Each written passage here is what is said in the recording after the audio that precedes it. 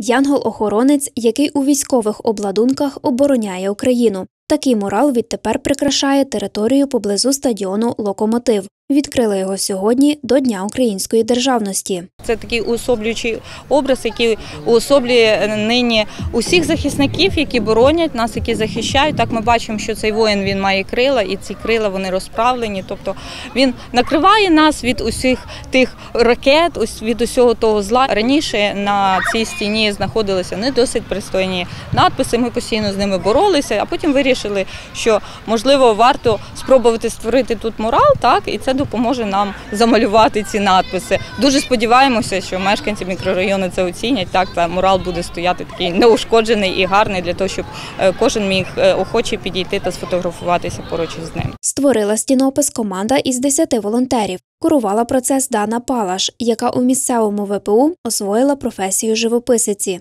Тут має бути криївка взаді, і просто хотіли зробити дуже гарний фасад.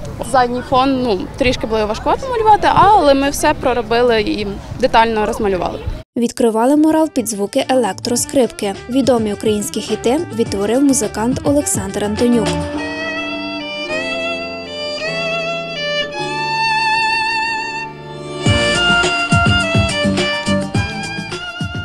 Я старався підібрати патріотичні більш, е, наприклад, Океан Ельзи обійми, е, не питай і Калуш Стефанія. На електроскрипці можна експериментувати зі звуками, знаходити цікаві звуки. А ще на заході розіграли футболку із зображенням муралу. Отримала його одна із наймолодших гостей заходу. Вітаємо тебе! Давайте підтримуємо її оплесками.